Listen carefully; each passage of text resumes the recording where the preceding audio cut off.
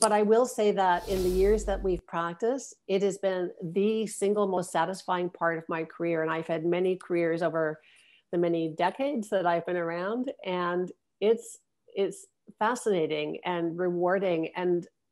my team and I meet just exceptional people at a point in time where they've amassed a lot of things in their lives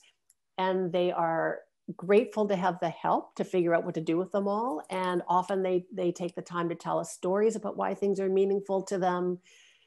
and we cry together and we laugh together and uh, the team always comes away enriched from having met somebody and learned about their story